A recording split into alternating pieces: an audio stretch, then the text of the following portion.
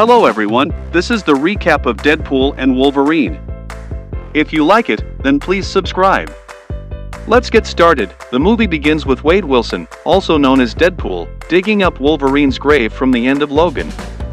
The Time Variance Authority, TVA, arrives to bring Wade in, and he fights them off. A flashback shows Deadpool in 2018 meeting with Happy Hogan, where he attempts to join the Avengers, but Happy turns him down. The scene shifts to post-Deadpool 2, where Wade is now a used car salesman working with Peter on Earth 10005. During a surprise birthday party for Wade, attended by characters from Deadpool and Deadpool 2, it's revealed that Wade and Vanessa aren't together anymore. The TVA arrives to take Wade in. He meets Mr. Paradox, who tasks him with finding Wolverine. Wade then travels through different universes, encountering various Wolverine variants, including a short Wolverine, Cavillrine, Patch, and a Wolverine fighting Hulk for about 5 seconds. Eventually, he finds the worst Wolverine, a drunken, washed-up variant of Logan. Wade and Logan return to the TVA and try to bargain with Paradox, who has built a Time Ripper to cut off timelines. However, they are pruned into the void. In the void, Wade and Logan have their first fight scene with each other, which is interrupted by what appears to be Captain America, played by Chris Evans. Sabretooth and Pyro arrive to take them to their leader. It is revealed that Captain America is actually Johnny Storm, who is defeated by Pyro. Logan fights Sabretooth, ending with Logan decapitating him. They are taken to meet Cassandra Nova, Charles Xavier's twin sister. She kills Johnny Storm. Wade and Logan escape after Cassandra summons Alioth. After escaping, they encounter a kind variant of Deadpool, played by Reynolds but without any scarring, and Dogpool.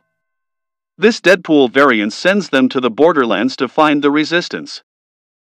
They travel in a minivan, stopping for a second fight scene, which is noted as one of the best in the movie. At the Borderlands, they meet Elektra, Blade, played by Wesley Snipes, Gambit, played by Channing Tatum, and X-23.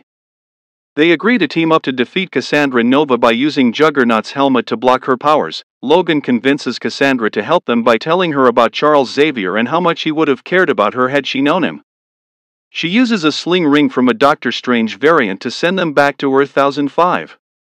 After they leave, Pyro tells Cassandra that Paradox has reneged on their deal, prompting her to follow Wade and Logan through the portal.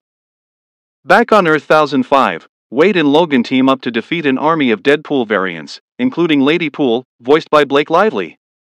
In this scene, Wolverine puts on his iconic mask, which is a highlight. They then go to save the Time Ripper from Cassandra Nova, who plans to use it to send all worlds to the void.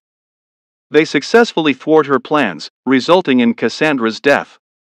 B-15 arrives to arrest Paradox. The movie ends with Wade and Logan eating shawarma. Wade then takes Logan to meet the rest of his crew. Logan insists that Wade talk to Vanessa again, leading to a hopeful reconciliation. In the post-credits scene, Deadpool is seen rewatching TVA screens showing the part where Johnny Storm swears and badmouths Cassandra Nova. Saying, you can quote me on this. Deadpool humorously uses this footage to prove Johnny's innocence, this movie is filled with numerous callbacks to Fox movies and MCU references by Deadpool, making it a fun and nostalgic ride for fans.